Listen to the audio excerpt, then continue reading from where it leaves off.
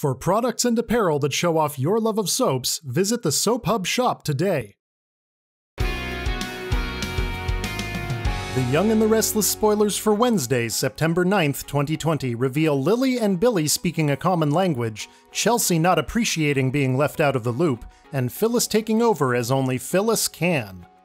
Every time it looks like Billy and Lily are on their way to working successfully together, something happens, and it's usually something stupid and contrived. First, Lily wanted to hire Theo, and Billy didn't.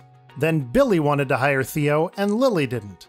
Then, instead of working, they often get distracted discussing who should and who shouldn't be dating whom. And next thing you know, Billy is filling out a dating app to prove some obscure point about how he is not interested in Amanda.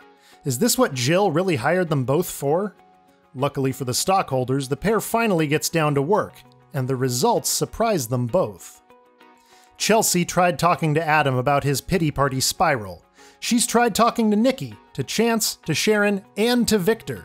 In fact, she's done nothing but talk since it all began. Chelsea is tired of talking. Chelsea is tired of being the last one to know what's going on with her fiance. Chelsea feels like she has no other choice but to take a drastic step. Will that, at long last, get Adam's attention? Phyllis does not appreciate being ignored. Phyllis believes that all people should be paying attention to her at all times. When that doesn't happen, she gets antsy. And then she makes it happen. Watch Phyllis pull focus. If the mountain won't come to Phyllis, well, if it was good enough for Mohammed.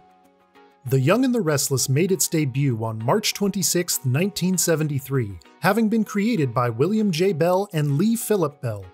The show was groundbreaking in many respects, introducing more mature undertones and adult themes than had typically been present in the world of daytime drama.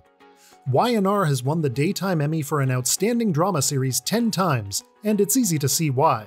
From Victor Newman's family machinations, to Paul Williams' heroism, to the heartwarming love stories that frequently grace the canvas, The Young and the Restless knows how to entertain fans and keep them coming back for more.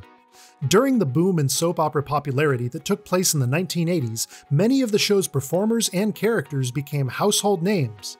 Today, The Young and the Restless is one of four remaining daytime dramas currently on the air, with the other three being General Hospital, Days of Our Lives, and The Bold and the Beautiful. The Young and the Restless airs weekdays on CBS. Check your local listings for airtimes.